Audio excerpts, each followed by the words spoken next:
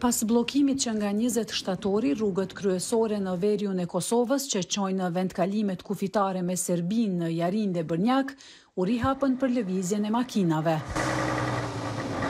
Mëngjesin e së shtunës, forcat paqëruajtëse të KFOR-it u vendosën në këto vendkalime sipas marrëveshjes së arritur ndërmjet Kosovës dhe Serbisë për t'i dhënë fund krizës në veriun e Kosovës. Tensionet përfshinë zonën më njëzet shtator pasi që serbët lokalë dhe Beogradi reaguan me zemërim ndaj vendimit të Qeverisë së Kosovës për të zbatuar reciprocitetin për përdorimin e targave të makinave. Qeveria vendosi që nga njëzet shtatori makinat që hyjnë nga Serbia në Kosovë duhet të marrin targa të përkohshme njësoj sikundër veprohet në Serbi me makinat nga Kosova për më shumë se dhjetë vjet me radhë, ajo dërgoi atje njësitë e posaçme për të siguruar zbatimin e vendimit.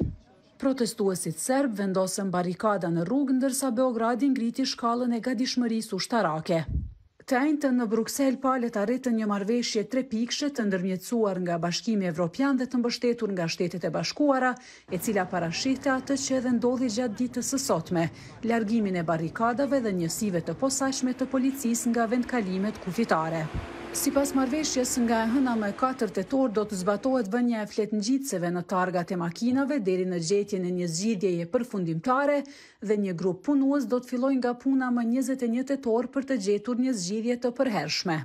Forcat paqëruajtëse të udhëhequra nga NATO-ja sipas marrëveshjes morën përsipër sigurimin në vendkalimet kufitare për dy javët në vijim. Marrëveshja u përshëndet nga diplomatët perëndimorë ndërsa u kritikua ashpër nga partitë opozitare në Kosovë, të cilat thanë se me këtë qeveria e Kosovës hoqi dorë nga sovraniteti në veriun e vendit.